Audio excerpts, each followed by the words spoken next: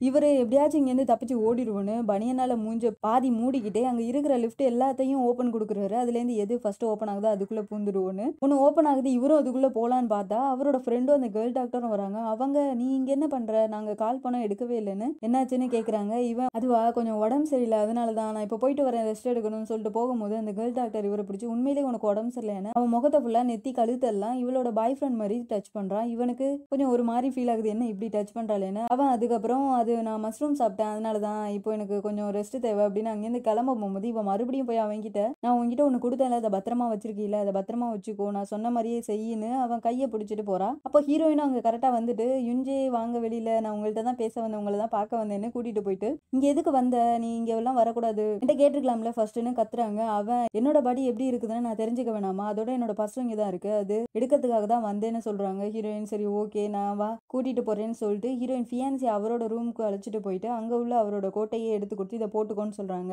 அவன் அதை போட்டுக்கிட்டே சொல்கிறான் அந்தால ஒரு கேர்ள் டாக்டர் இருக்கால அவள் வந்து இவனோட கையெல்லாம் ஒரு மாறி பிடிச்சா எனக்கு சரியில்லை என்னமோ டிஃப்ரெண்ட்டாக இருந்துச்சுன்னு சொல்ல அவங்க ஹீரோயின் நீ முதல்ல பைத்தியம் மாதிரி இவரை எல்லாரையும் நினைக்க வச்சுட்ட இப்போ என்ன அவரோட பொம்பளை பொறிக்க மாதிரி மாற்ற பார்க்குறியான்னு அவங்கெல்லாம் இவங்களோட ஃப்ரெண்டு ஸோ பார்த்து இருந்துக்கோ எந்த ஒரு லூசுத்தனமான விஷயமும் பண்ணிடாத உன்ன மாதிரி வயசில் உள்ள பையன்லாம் எனக்கு தெரியும்னு சொல்கிறாங்க ஹீரோ இந்த மாதிரியே ஏதாச்சும் சொல்லிட்டு நான் சொல்கிறதெல்லாம் கேட்காதுன்னு சொல்லிட்டு அந்த பெட்டில் போய் படுத்தோன்னே ஹீரோயின் அவரை பார்த்துட்டு சொல்கிறாங்க இந்த பெட்டில் உன்னை பார்த்தோன்னே இந்த ட்ரெஸ்ஸில் உன்னை பார்த்தோன்னே இன்ஜே பார்க்குற மாதிரியே இருக்கு இன்ஜே மாதிரியே இருக்குன்னு ஃபீல் பண்ணி சொல்கிறாங்க அதுக்கப்புறம் சரி ஓகே வா கிளம்பலான்னு சொல்லிட்டு கை கொடுக்குறாங்க. ஹீரோ அவங்க கையை பிடிக்க போகும்போது டக்குன்னு அவனுக்கு ஞாபகம் வருது அந்த தண்ணியில் விழுந்தப்போ ஹீரோனோட ஃபியான்சி இவங்களுக்கு கை கொடுத்தது. ஹீரோயின்ட்ட சொல்கிறான் இந்த மாதிரி நான் தண்ணிக்குள்ளே விழுந்தப்போ அவன் என்னை காப்பாற்ற கை கொடுத்தான். அவன் கை கொடுத்தோன்னே அவன் கையை பிடிச்சாதான் நான் இங்கேருந்து தப்பிக்க முடியும்னு நானும் அவன் கை பிடிச்சேன். ஒருவேளை அந்த மாதிரி நேரத்தில் தான் எங்கள் ரெண்டு பேரோட ஆத்மாவும் உடம்பு மாறி இருக்குமோன்னு நினச்சிட்டு சொன்னோன்னே ஹீரோயினும் சரி ஓகே அதே ட்ரை பண்ணி பார்ப்போன்னு ஹீரோ பாடி இருக்கிற இடத்துக்கு போயிட்டு அவரோட கையை பிடிக்க சொல்லி இது ஒர்க் அவுட் ஆனாலும் ஆகலான்னு கையை கொடுத்து ரெண்டு பேர் கையும் பிடிக்க வைக்கிறாங்க. கொஞ்ச நேரம் இவங்க ரெண்டு பேரும் கண்ணை மூடிட்டு நம்ம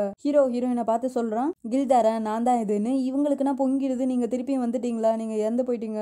திருப்பியும் வரமாட்டீங்கன்னு நினைச்சுக்கிட்டு இருந்தப்போ உங்களோட பாடியில வேற ஒருத்தனோட ஆத்மா வந்தோன்னே நான் ரொம்பவே பயந்துட்டேன்னு சொல்ல அவன். என்ன மன்னிச்சிடுங்க. முதல்ல நான் சொல்ல வந்ததை சொல்லிக்கிறேன்னு பியும் பின்னு சொல்றான். ஹீரோயினுக்குனா அழுக தாங்கல. இவன் இப்படி ஆக்டிங் போட்டோன்னே நீ என்ன இதை ஜோக்குன்னு நினைச்சிட்டு இருக்கியான்னு அழுதுட்டே வெளியில போறாங்க. இவன் இது என்ன? நான் ஜோக் தான் பண்ண இவ சீரியஸ் போகிறாளுன்னு இவனோட பர்ஸ் எடுக்கிறதுக்காக அங்கே எடுக்க போறான். கரெக்டாக பார்த்தா ஹீரோவோட அங்கிள் ஆண்டி வந்துடுறாங்க. அவங்க வந்துட்டு கேட்குறாங்க இந்த மாதிரி இவன் எவ்வளோ நாள் கோமால இருப்பான்? எப்போ எந்திரிப்பான்னு?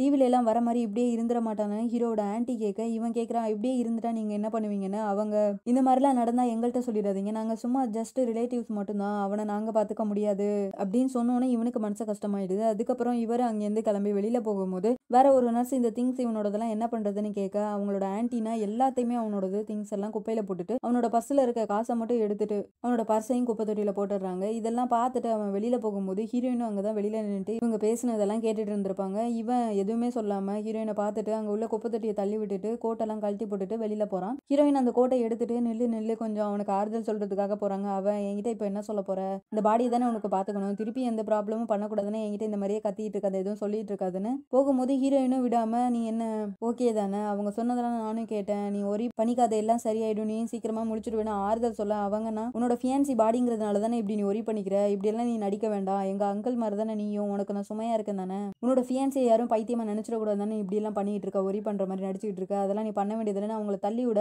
கரெக்டா ஹீரோயினோட தம்பி அங்க வந்துட்டு இவன் புஷ் பண்ணுறதை பார்த்துட்டு இப்போ என்ன எங்க அக்காவை நீங்க தள்ளி விட்டீங்களான்னு? அவன்கிட்ட வந்து அத்தான்னு பேச ஆரம்பிச்சோன்னா நான் ஒன்றும் உன்னோட அத்தான் இல்லைன்னு சொல்ல இவனுக்கு நான் கன்ஃபியூஸ் ஆகுது. உனக்கு ஹஸ்பண்ட்னா எனக்கு அத்தான் தானக்கா எனக்கே கன்ஃபியூஷனா இருக்குன்னு இவன்கிட்ட பேச அவன் ஸ்டூப்பிட்னு சொன்னோன்னா அவனுக்கு நான் கோவம் வந்தது. ஸ்டூப்பிடா இப்போ என்ன என்ன இன்சல்ட் பண்ணீங்களா? என்ன நினச்சிட்டு இருக்கீங்கன்னு இவன் ஆர்கியூ பண்ண போக அவன் அங்கேருந்து போயிடுறான். ஹீரோயின் இதில் முதல்ல தலையிடாத நீ தலையிட்டீங்கன்னா பிரச்சனை தான் பெருசாகும் காம்ப்ளிகேட் ஆகாதுன்னு சொல்லிட்டு அங்கேருந்து போகிறாங்க போனால் ஹீரோவை காணும் அவர். அங்கே ஹீரோயின் போகிற வரைக்கும் ஒரு பெஞ்சு கீழே அப்படியே ஒளிஞ்சிக்கிறாரு. உட்காந்துட்டு அதுக்கப்புறம் ஹீரோயின் போனோடனே அங்கே உள்ள ஒரு வெண்டிங் மிஷின் இருந்து ஜூஸ் குடிக்க போகிறாரு அதை வாட்டரை பார்த்தோன்னா ஹீரோயின் சொன்னது ஞாபகம் வருது இந்த மாதிரி உனக்கு தண்ணி தாங்க அடிச்சிச்சுன்னா ஜூஸ் சோடாலாம் குடிக்காம வாட்டரை குடின்னு. ஆனால் இவர் கோவத்தில் இதெல்லாம் நான் குடிக்கிறதாச்சுன்னு அந்த ஜூஸையே வாங்கி சோடாவை குடிச்சிட்டு அதை குப்பத்தொட்டியில போடுறாரு. குப்பத்தட்டியை பார்த்தோன்னா அவருக்கு அவரோட திங்ஸ் எல்லாம் அவங்க ஆன்ட்டி குப்பத்தொட்டில போட்டது ஞாபகம் வந்தோன்னா அதை எடுக்கிறதுக்காக திருப்பியும் ஹாஸ்பிட்டலில் அவர் இருக்கிற ரூமுக்கு போறாரு. அங்க போயிட்டு பார்த்தா குப்பத்தொட்டில அவரோட திங்ஸ் எதுவுமே இல்லை. அதுக்கப்புறமா அவருக்கு தனக்கு தானே ஆறுதல் சொல்லிக்கிறாரு. உன்கிட்ட அம்மாவோட பணம்லாம் இருக்கு. அதனால உன்னோட அங்கிள் ஆண்டி உன்னை விட்டுட்டு போக மாட்டாங்க. கவலைப்படாதன்னு சொல்லிட்டு வீட்டுக்கு போறாரு. வீட்டுக்கு போனா வீட்டு கதவுல ஒரு பேக் மாட்டிருக்கு கில்ஸ் டம்ப்ளிங்னு அதுக்குள்ள அவரோட திங்ஸ் பர்ஸ் எல்லாம் இருக்கும். அதுக்கப்புறம் ஒரு டம்ப்ளிங்ஸ் பாக்ஸும் இருக்கும். அதை பார்த்துட்டு அந்த பேக்கோட கவர்ல பேரை பார்க்கறான். கில்ஸ் டம்ப்ளிங்னு இருக்கும். கில்ஸ்னு பார்த்தோன்னா அது நம்ம ஹீரோயின் நேம்னு அவனுக்கு ஞாபகம் வருது. அதுக்கப்புறம் அங்கே கிளம்பி போறான். ஹீரோயின் வீட்டில் போனோன்னே அவங்க அப்பாவும் தம்பியும் அவங்கள உட்கார வச்சு கேள்விக்கு மேலே கேள்வி கேட்குறாங்க அவன் எவ்வளவு இக்னோர் பண்ணான் தெரியுமா என்ன? கால் கூட எடுக்கலன்னு ஹீரோயின் அப்பா சொல்ல ஹீரோயின் தம்பினா அவன் என்ன ஸ்டுப்பின்னு சொன்னான். எப்படி இன்சல்ட் பண்ணா பார்த்தீங்கன்னு இவங்க மூணு பேர் பேசிகிட்டு இருக்காங்க. வெளியில நம்ம ஹீரோ அவங்க ரெஸ்டாரண்ட்டை கண்டுபிடிச்சு அங்கே வந்துடுறாரு. வெளியில நின்று எட்டி பார்த்துட்டு இருக்கும் போது நம்ம ஹீரோயின் அம்மா வந்துட்டு மாப்பிள்ளை இங்க என்ன பண்ணுறீங்க நான் கொடுத்த டம்ளிங்ஸ்லாம் சாப்பிட்டீங்களா? எவ்வளோ டேஸ்ட்டாக இருந்துச்சு? அதுக்குள்ள என்ன இருந்துச்சுன்னு கண்டுபிடிச்சிங்களான்னு கேட்குறாங்க இவனும் யோசிக்கிறான் ஏதோ கேட்குறாங்க ஒன்று பொருள் சரி ஏதாச்சும் சொல்லுவோன்னு ஃபிஷ் மீட்டு அப்படின்னு சொல்றான் அவங்க அதெல்லாம் இல்லை. கொஞ்சம் வளவலன்னு நீட்டமா இருக்கணும். அவங்களே வாய்க்குள்ளே சொல்லி காமிச்சோன்னா அவன் ஈல்னு சொன்னான் ஆமாம் கரெக்டாக கண்டுபிடிச்சிட்டிங்களேன்னு வீட்டுக்குள்ள அழைச்சிட்டு போய் ஹீரோயின் அப்பா கிட்ட இங்க பார்த்தீங்களா நம்மளோட மாப்பிள்ள வந்திருக்காரு. அவர் நம்ம டப்ளிங்ஸில் என்ன ஒழிச்சு வச்சிருந்தோன்னு கண்டுபிடிச்சிட்டாருன்னு சிரிச்சிட்டே சொல்றாங்க. ஹீரோயினும் ஷாக்காக இருந்தாங்க. இவன் என்ன இங்க பண்றான்னு ஹீரோயின் தம்பி ஹீரோயின் அப்பாவும் அவனை பார்த்து முறைக்கிறாங்க. இவன் அங்கே எல்லாரையும் பார்த்துட்டு தான் இவங்க ஹீரோயின் அம்மானா யுஞ்சையோட மாமியார் இவரு. அவங்க ஹீரோயின் அப்பானா யுஞ்சையோட மாமனார். இவன் ஹீரோயின் தம்பினா யுஞ்சைக்கு மச்சான்னு அப்போதான் இவனுக்கு எல்லாமே தெளிவா புரியுது. உடனே எல்லாருக்கும் யுஞ்சை மாதிரி நடந்துக்கணுங்கிறதுக்காக ஹாய் சொல்கிறான் வணக்கம் சொன்னோன்னே ஹீரோயின் அவனை வெளியில அழைச்சிட்டு போய் பேசுறாங்க. நீ என்ன நினைச்சிட்டு இருக்க? இங்க எதுக்கு வந்த? இங்க வந்தீங்கன்னா எல்லாருக்கும் தெரியப்படுத்தவா? நீ யுஞ்சே இல்லைன்னு அவரோட பேரும் கெட்டு போகவா? பேச அவன் நான் உன்னை பார்க்கறதுக்காக தான் வந்தான். ஆனா வெளியில நின்றுட்டு இருக்கும் போது ஒரு லேடி வந்துட்டு டப்ளிங்ஸ்ல என்ன இருக்கு? அப்படி இருக்குன்னு ஏதோ கேட்டுக்கிட்டு இருந்தாங்க. அதுக்கப்புறம் அவங்களே உள்ளர அழைச்சிட்டு வந்தாங்கன்னு சொல்ல இவங்க அதெல்லாம் நீ தான் கொஞ்சம் அவாய்ட் பண்ணணும். இப்போ நம்ம வெளியில தெரிஞ்சிச்சுன்னா என்ன பண்ண? நம்ம தான் ஹைட் பண்ணி வைக்கணும் இந்த மேட்ரை இல்லைன்னா ப்ராப்ளம் வரும்னு பேசிக்கிட்டு இருக்க. ஹீரோயினோட தம்பி தம்பி வந்துட்டு என்னத்தை ஹைட் பண்ணி வைக்கணும்னு கேட்க? இவங்க ரெண்டு பேரும் ஐயோ இப்பயே மாட்டிக்கிட்டோன்னு? அதெல்லாம் அடல்ட் விஷயம் உனக்கு தெரிய வேணாம்னு சொல்லிட்டு இங்கேருந்து போயிடுறாங்க. உள்ளார உள்ளார போனோன்னே ஹீரோயின் அம்மா அவங்கள சமைக்கிறதுக்கு ஹெல்ப் பண்றதுக்காக ஹீரோயினை கூப்பிடுறாங்க. அதுக்கப்புறம் இவங்க சரி கொஞ்ச நேரம் இப்படி பார்த்துட்டு இருன்னு சொல்லிட்டு உள்ளார போனோன்னா ஹீரோ அங்கே இருக்கிற ஹீரோயின் ஃபேமிலி ஃபோட்டோலாம் பார்த்துட்டு ஹீரோயின் அப்பாவை பார்த்து இது நீங்க தானே? அப்படின்னு சிரிச்சுட்டு ஸ்மைல் பண்ணிட்டு சைகையிலே சொல்லிட்டு அங்கே எல்லாத்தையும் சுத்தி பார்த்துட்டு இருக்காரு. ஹீரோயின் அப்பா இவனும் பக்கத்துல வந்து உட்காந்துருவான்னு வெயிட் பண்ணிட்டு அங்கே சோஃபால உட்காந்துட்டு இந்த வந்து உட்காருங்கன்னு கையை கட்டணும்னா அவனு போய் உட்காடுறான் உட்காந்துட்டு கை கால சொறிறான் அது பண்றான் இது பண்றான் இவருக்குன்னா என்னடா இவ்வளவு வித்தியாசமா நடந்துக்கிறானேன்னு குழப்பம் வேற. அதுக்கப்புறம் பேச ஆரம்பிக்கிறாரு. இந்த மாதிரி உங்களுக்கு ஆக்சிடென்ட் ஆச்சுன்னு கேள்விப்பட்டேன் நீங்க ஓகே தானே அவன் பார்த்தாலே உங்களுக்கு தெரியுதுல்ல நான் எவ்வளவு ஸ்ட்ராங்கா இருக்கேன்னு நெஞ்சிலே குத்தி காமிக்கிறான். அதுக்கப்புறம் பக்கத்துல ஹீரோயின் அப்பா நிறைய ஸ்டோன் எல்லாம் கலெக்ட் பண்ணி வச்சிருப்பாரு. அதை பார்த்துட்டு ஸ்டோன்லாம் நிறைய கலெக்ட் பண்ணுவீங்க போலயே இதெல்லாம் நான் கலெக்ட் பண்ணுவேன்னு கூட எனக்கு தெரியாதுன்னு அங்க உள்ள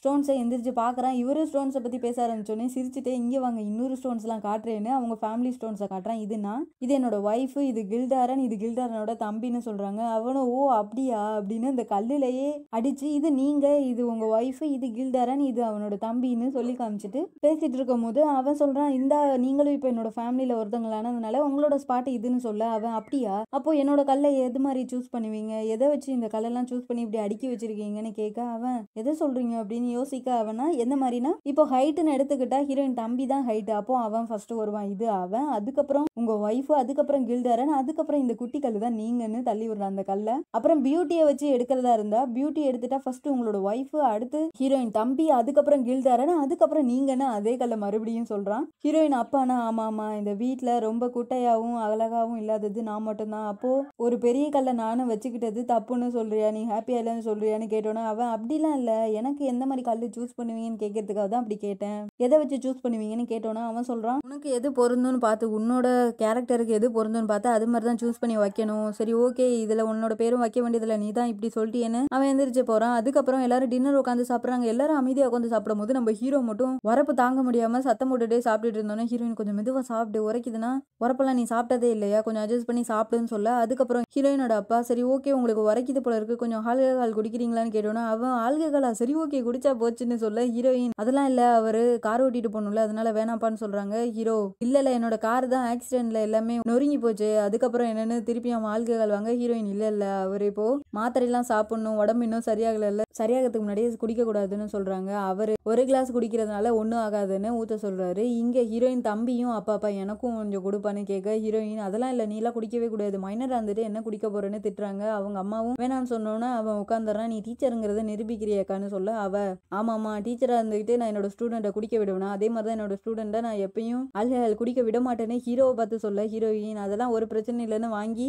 அந்த பீரை குடிக்க போறாரு. ஹீரோயின் அதை புடுங்கிட்டு அதை ஃபுல்லாக குடிச்சிடுறாங்க. அவன் அதில் லாஸ்ட்டாக உள்ள ஒரு இத்தினோண்டு ஆல்கஹாலை மட்டும் குடிச்சிட்டு முறைக்கிறான். அதுக்கப்புறம் ஹீரோயின் அவரை வீட்டுக்கு கொண்டு வந்து விடுறதுக்காக நடந்து வராங்க அவர் கூட. அவன் சொல்கிறான் எதுக்கு நீ இதெல்லாம் பண்ணிக்கிட்டு? நான் போயிடுவேன்னு சொல்ல ஹீரோயின் நீ முதல்ல கொஞ்சோண்டு குடிச்சதுலே ட்ரங்க் ஆகிட்ட அதை எப்படி நான் உன்னை தனியாக விட முடியும்னு சொல்ல? அவன் நீ எங்கே எனக்கு கொடுத்த ஒரு சொட்டு தான் கிடச்சிச்சு. எனக்கு அதை குடிச்சதுல நான் ட்ரங்க் ஆகிட்டேன்னு பேசிட்டு அவங்க ரெண்டு பேரும் வரும்போது ஹீரோயின் சாரி கேட்குறாங்க அண்ட் தேங்க்யூன்னு சொல்கிறாங்க இந்த மாதிரி எங்கள் அப்பா அம்மா முன்னாடி என்னோட ஃபியான்சி மாதிரியே நடந்துக்கிட்டதுக்குன்னு அவன் சொல்கிறான் தேங்க்யூ சொல்கிறதுக்கு பதிலாக நீ என்கிட்ட காசு கொடுக்கலாம்ல. என்னோட பர்ஸு பார்த்தா பர்ஸில் உள்ள காசு எல்லாத்தையுமே அந்த ஆண்டி எடுத்துட்டு போயிட்டா. நான் பஸ்ஸுக்கு போகிறதுக்கும் இல்லை இந்த ட்ரெஸ்ஸும் எனக்கு பத்த மாட்டேங்குது. இந்த பாடிக்கு எதுவுமே பொருந்துற மாதிரி என்கிட்ட ட்ரெஸ்ஸும் இல்லை. என்ன பண்ணுறது கொஞ்சம் ட்ரெஸ்ஸும் வாங்கி கொடுன்னு சொல்ல ஹீரோயின் சரி ஓகேவா போகலான்னு போலான்னு சொன்னோன்னே ஹீரோ ஷாப்பிங் போறோமான்னு ஜாலியாக கேட்க அவங்க இல்லை இல்லை. இஞ்சியோட வீட்டுக்கு தான் அங்கே இருக்க எல்லா ட்ரெஸ்ஸுன்னு சொல்லிட்டு அங்கே கூட்டிகிட்டு போகிறாங்க இங்கே ஹீரோயின் வீட்டில் அவங்க அப்பா அம்மா ரெண்டு பேரும் பாத்திரம்லாம் கழுவிட்டே பேசிட்டு இருக்காங்க. ஹீரோயின் அம்மா சொல்கிறாங்க அவங்க கொஞ்சம் இன்னைக்கு டிஃப்ரெண்டாக இருந்தால கொஞ்சம் கூட மேனஸ் இல்லாமல் நடந்துக்கிற மாதிரி இருந்துச்சு.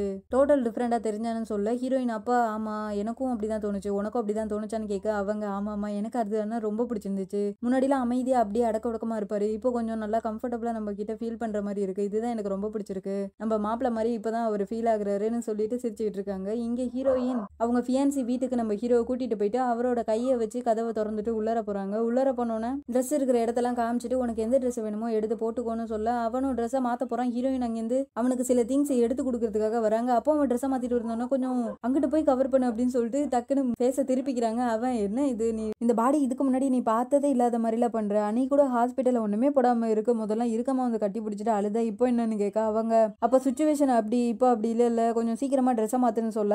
அவன் ஒன் மந்த்ல உங்களுக்கு கல்யாணம் ஆக போது இதுக்கு முன்னாடி எதுவுமே நடந்தது இல்லையான்னு? இவன்ட்ட வந்து நான் வேணா உன்கிட்ட காட்டுட்டுமா? இங்க பாரு இந்த பாடி எவ்வளவு சூப்பரா இருக்குன்னு. சிக்ஸ் பேக் அப்படி இப்படின்னு ரொம்ப பத்திரமா பார்த்துருக்காரு. உன்னை இம்ப்ரெஸ் பண்றதுக்காக தான் பண்ணிருக்காருன்னு நினைச்சா உங்ககிட்ட ஒரு தடவை கூட காட்டினது இல்லையா? இந்த மாதிரி பாடி எல்லாம் மெயின்டைன் பண்றது ஒன் மந்த் டூ மந்த் எல்லாம் இருக்காது. ரொம்ப நாளா டெய்லியும் பண்ணிட்டு வந்திருப்பாங்க அப்படின்னு சொல்ல ஹீரோயின் அப்படியா ரொம்ப நாளாக பண்ணிட்டு இருந்திருப்பாங்களா இதுக்கு எவ்வளோ டைம் ஆகும்னு கேட்க அவன் ஆமாம் ரொம்ப நாளாக பண்ணிட்டு வந்திருக்காங்க. ஒரு நாளைக்கு டூ ஹவர்ஸ் ஆச்சு பண்ணாதான் இதெல்லாம் மெயின்டைன் பண்ண முடியும்னு சொல்ல.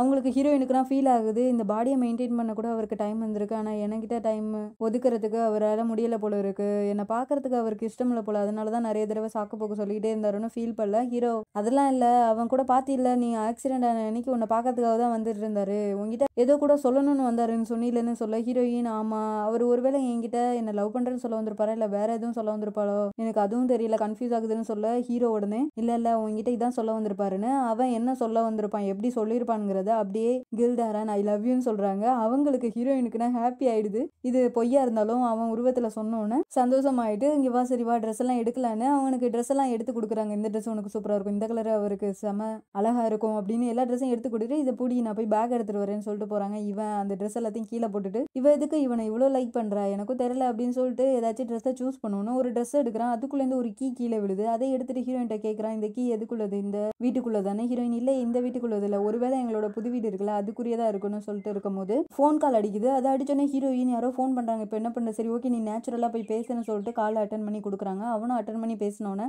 அந்த கேர்ள் டாக்டர் தான் கால் பண்ணுறான் இந்த மாதிரி உனக்கு ஆக்சிடென்ட் ஆச்சாமே? உன்னோட ஹாஸ்பிட்டலுக்கு திங்ஸ் எல்லாம் வந்தப்போ தான் எனக்கும் தெரியும். நீ என்கிட்ட சொல்கிறது இல்லையா? இப்போ நான் வீட்டுக்கு தான் வந்துகிட்டு இருக்கேன். எல்லா திங்ஸையும் எடுத்துட்டேன்னு சொல்லிட்டு காலை கட் பண்றாங்க. இவனும் காலை கட் பண்ணோன்னே ஹீரோயின் அவங்க வரும்போது நேச்சுரலா நடந்துக்கோ அமைதியா மரியாதையாக ஹலோன்னு சொல்லுன்னு அவனை கீழே அனுப்பி வைக்கிறாங்க. ஹீரோயின் அதுக்கப்புறம் அவங்க வரதுக்கு முன்னாடி வீட்டெல்லாம் சுத்தம் பண்ணுவோம்னு சொல்லிட்டு அங்க வேக்கம் கிளீனர் எடுக்க போறாங்க. அங்க போயிட்டு அதை எடுக்கும் போது ஒரு சூட் கேஸ் இருக்கு. அதை எடுத்து தூக்குறாங்க. என்னடா வெயிட்டா இருக்கு? எம்டிஐ இல்ல போல இருக்கு அப்படின்னு அதை திறந்து பாக்குறாங்க. எல்லா திங்ஸும் பேக் பண்ணி இருக்கு. அதை பார்த்துட்டு எங்க போறாரு? எங்க கிளம்பி இருக்காரு?